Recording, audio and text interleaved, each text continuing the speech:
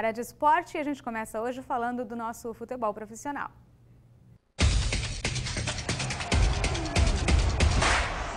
Unidade, vem fazer para valer.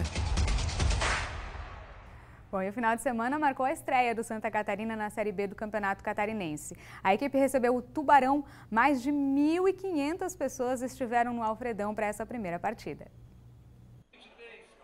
Casa cheia para ver o Santa em campo no Alfredão pela primeira vez na temporada. A torcida dando show antes mesmo de a bola rolar.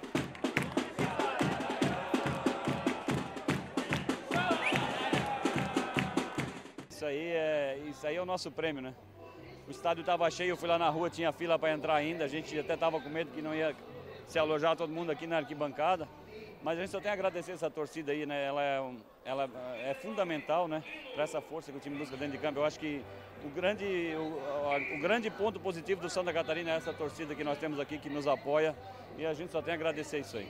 Uma bela festa aqui hoje em Rio do Sul, na realidade, uma cidade apaixonada pelo futebol tem apoiado Santa Catarina, tem apoiado o futebol catarinense e para nós é uma grata satisfação o futebol profissional ter voltado a Rio do Sul temos esse retorno né, da torcida, da, da população de Rio do Sul, do poder público municipal de Rio do Sul e também a diretoria do Santa Catarina, que é, só temos que ser agradecer todo esse apoio e essa bela festa que estão fazendo aqui hoje.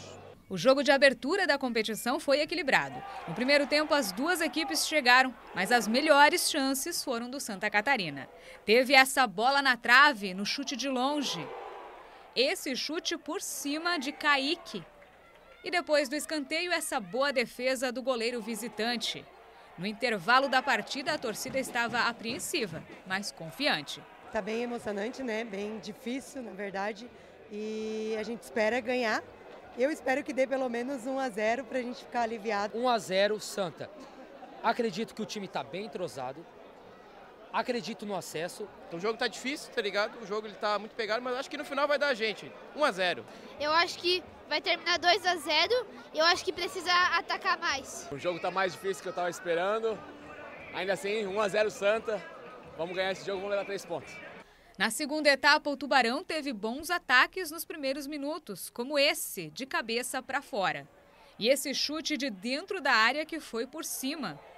Logo depois, o Santa ficou com um a menos, com a expulsão de Marcão. Ainda assim, o time chegou e nessa boa jogada, Medina sofreu pênalti. Ele mesmo foi para a cobrança, mas o goleiro do Tubarão fez a defesa e pegou também o rebote. Logo depois, um ótimo ataque do visitante e o goleiro Gladson saiu muito bem para parar a jogada. Na sequência, foi o Santa que atacou e Bruninho fez o gol que a torcida previu. Primeiro gol do Santa na temporada. Estou muito feliz, né?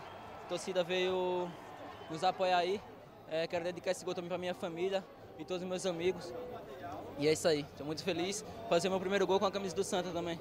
Com sete minutos de acréscimo, o Tubarão, em vantagem numérica, até pressionou no fim, mas ficou nisso. Vitória do Santa, 1 a 0 placar final. Não precisava sofrer tanto o primeiro jogo, né? Mas a gente foi abençoado com essa vitória aí. O time se portou bem. Na, a gente viu que o time é bem aguerrido, bem marcador, né? Soube sofrer, né? Na hora que, que teve que sofrer.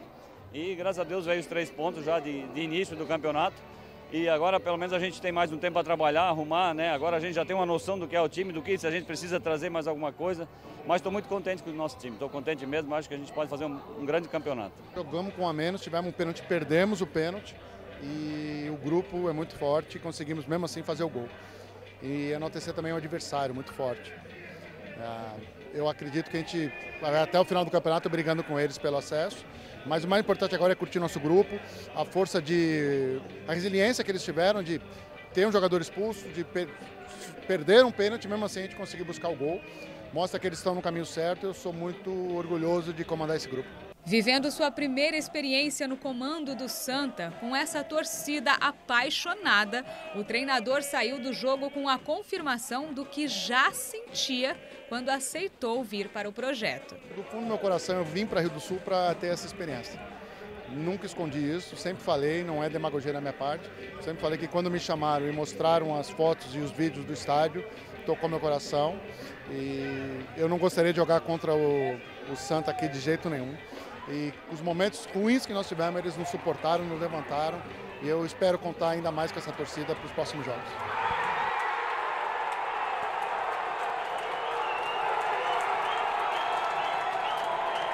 O próximo jogo do Santa é sábado, fora de casa, contra o Caravaggio.